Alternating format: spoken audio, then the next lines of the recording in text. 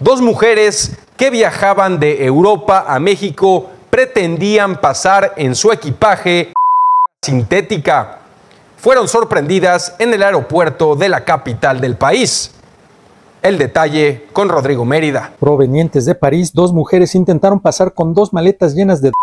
en el Aeropuerto Internacional de la Ciudad de México.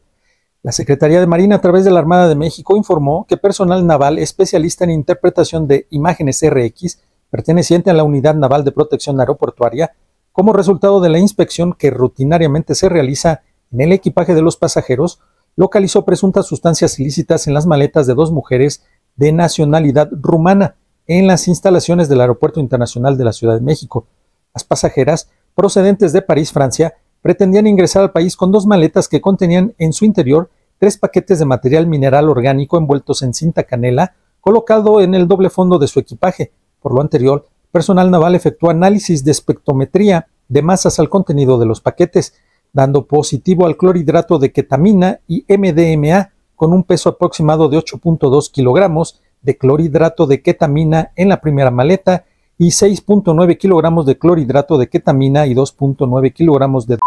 MDMA en la segunda maleta. Las personas detenidas a quienes les fueron leídos sus derechos, así como las maletas y presunta asegurada, fueron puestas a disposición ante la autoridad competente para continuar con las investigaciones, informó para Magazine TV Rodrigo Mérida.